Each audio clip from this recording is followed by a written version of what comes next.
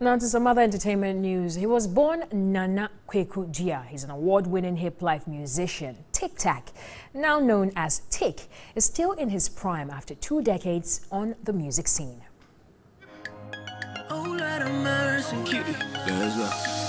Sometimes I feel like giving up. But the love, you the show, I feel like giving more. The love, you the give, I feel like doing more. Tic began his music career while at Labone Senior High School and released his debut solo album, Philomena, in 1999, which spawned several hits.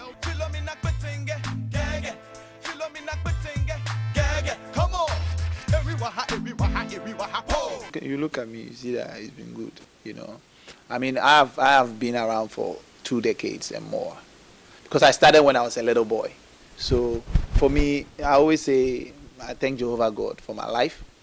And of course, for the fact that, you know, I can still say that, yeah, I've released a new single and at least people can bump to it.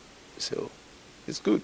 The Philomena hitmaker believes causing positive change in the life of fans through one's works is the greatest award every artist should aim at. Awards are not what I look at. You know, um, my my main thing is to, you know, cause positive change in the lives of uh, my listeners, and that that once I feel that my listeners are bumping to my music, I, I feel that is a great achievement. Because sometimes you win the award and even you know people forget as well. The music lasts forever. So what has kept him relevant over the years?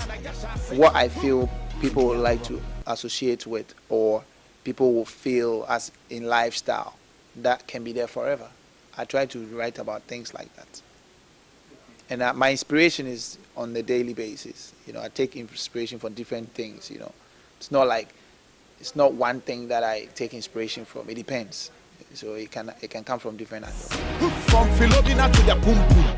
Ah, I be the boss. I do all. The name take basically is um, to move forward. You know, I think that uh, it's it's nice. People call me Take already, so let's just keep it Take.